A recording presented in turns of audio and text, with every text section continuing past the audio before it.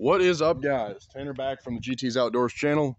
We're out, and you're gonna say, "Oh, is this a patterning video or, you know, a gun of the week video?" Well, it's both. So I'm super excited for this video, guys. I've uh, had this thing on layaway for a little bit. I've just been paying it off slowly. And what it is is a H&R um, topper model, three and a half inch full choke, 10 gauge, single shot. So it is a 10 gauge, guys. This thing's a beast. Um, beautiful gun. I don't know how you guys can see the uh, case hardening there. I'm all over today, but case hardening. It has a 36 inch barrel. It's got a monster long barrel on it. Um, it's awesome. Uh, the wood's in great shape except for right down here, there's one little crack. Uh, well, it's not a crack, it's just chipped off. Um, and then one little dent up here. Um, just a brass bead on the end of this thing, but I mean, you guys see how long that is. 36 inch long barrel, full choke. This thing is hopefully going to be a turkey killing son of a gun. Um, got a uh, box of these. Oh, that's good. To set it right in a puddle. That's that's always awesome. Um, huh, that's great. Set your shotgun shells in a wet puddle. Um, anywho, well, they didn't soak through the box. There are Federal Premium turkey loads, the Mag-Shoks. There are a where's the hell? There it is. Number five shot, 10 gauge, three and a half inches, and two ounces of shot. They're copper plated with the flight control wad. So, give you guys a look at that shell. It's a big brown shell, 10 gauge, made in the USA. This is a made in USA gun as well. Um, I'm super excited for this, guys. I think this is going to be an awesome, awesome shotgun. So, hopefully, a turkey killing son of a gun. Told you guys I had some turkey videos coming out. Um, I actually lost. I had two turkey hunts that I filmed. First turkey hunt, I went with my fiance. Second one was with Rylan. Um, we saw two hens with Rylan, heard uh, one gobble with my fiance.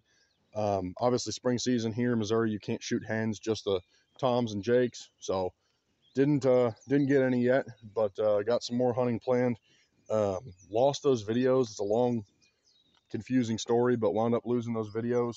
Um, one other thing on this shotgun I forgot to mention is I do have a uh, recoil reducing, you know, pad I added onto it. It fits perfect. It's really snug. I'm just going to leave that on there because this is a heavy hitting gun. Um, but turkey videos are coming, guys. I promise. I will uh, get you some turkey videos out as soon as as soon as I can.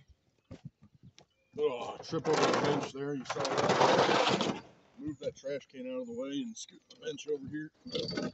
So, getting set up, guys. We have a uh, HS strut turkey target down there at 35 yards, and we're gonna go ahead and shoot this guy a couple times, two or three times. I'm not sure yet. So I just actually picked this up from my local gun shop. So I'm gonna go ahead and pan back over here and uh, get ready to shoot this thing. So two ounce number five shot. Um, from what I've heard, these are a pretty potent load for these. Um, so my boss said he uses a uh, 10 gauge Browning pump. It's either pump or semi-auto, I don't remember what he said, but he uses those shells in it for turkey hunting. So put some mufflers on here. All squared away. It does also have an ejector, so it will spit the shell out when it's done. Um, never shot a 10 gauge before, guys, so I am a little, little nervous. Um, also pretty excited. So I don't know how bad these are going to kick. I've heard some of them, the heavier guns with these longer barrels, don't actually kick that bad. And then some of them with the shorter barrels, you know, with buckshot in them, kick like absolute mules. So we're going to find out. Um, it's a hammer cock. There's no external safety. The hammer is your safety and your trigger is the safety. So let's go ahead and uh, shoot this bad boy and see how bad she really is. I'm a bead right on the head, guys, of that HS strut target, just like every other patterning video. I know this is uh, during turkey season instead of before, but um, you know, got this gun as soon as I could. So get comfy here, sit right on that head.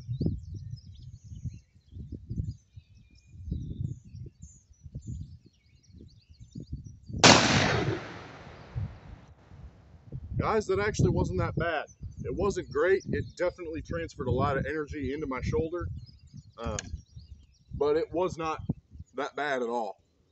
Like that was like shooting a 12 gauge three and a half. So all this weight really did help. Uh, we're gonna run down range, check that target. Um, I'll get back with you guys here in just a second. All right, guys, down range here. Um, looks like that shot went a little high and right, possibly, but uh, that's a dead turkey. I mean, that's one, two, three, four, five, six, seven, eight, nine, ten, ten pellets in the head first shot. Um, so I think I pulled it. We're gonna go ahead and uh, shoot that again just to make sure uh, you know it was me pulling it. That's that's a pretty decent pattern um, for just a full choke gun, not having a turkey choke in it. So see you guys here in a second for shot number two. All right, let's get loaded up for shot number two here. That really wasn't bad. I'm, I'm, I'm a little surprised. I was figuring it was going to kick a little bit more, but I mean, it's not like shooting a 22, but that really ain't that bad. So I think that went a hair high and a hair right on that last shot. So I'm going to try uh, really focusing on that. I think I was expecting a little bit more recoil on that first shot. So um, that was probably me pulling it. So we're cocked and we're ready to go again, guys. So.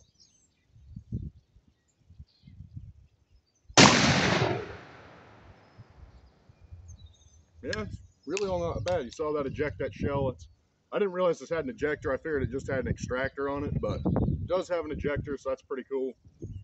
Let's uh, run down range, check out shot number two from this uh, 10 gauge.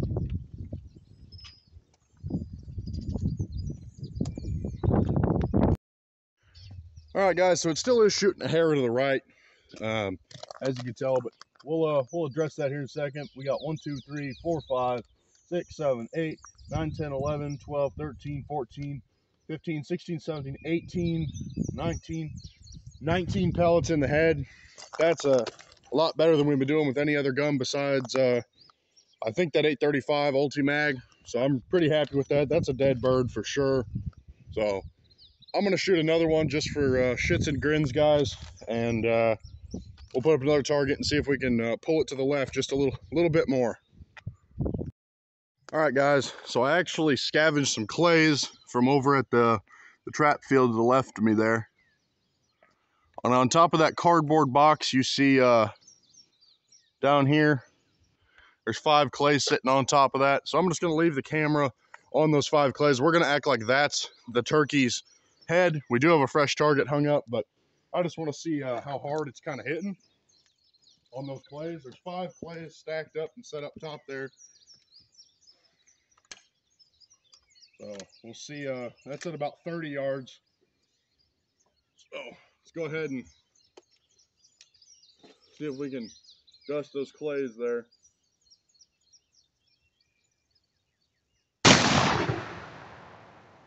Well, guys, I don't know how well you can see that on video, but uh, those clays are gone.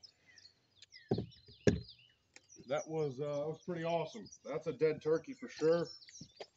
Let's go down there and see the damage. So at 35 yards, it hit this box a few times, but uh, like I said, um, there's not not a whole lot left of clays. There, uh, there's pieces scattered around, but that's about it. So, all right, guys, this has been a uh, pretty awesome video. Uh, appreciate you guys checking out the GT's Outdoors channel. Hopefully, we'll see you uh, if we can get a big bird with that 10 gauge this weekend. So, I'll see you then, guys. Thanks. Go ahead and leave a comment down below if there's something you guys want to see or if you just want to say, hey, um, like this video, I'd appreciate it. And maybe maybe subscribe if you're not. I know I got a lot of people watching who aren't subscribed. So if you know you do like this kind of stuff, go ahead and subscribe. It'd mean uh, mean a lot to me. So see you guys in the next one.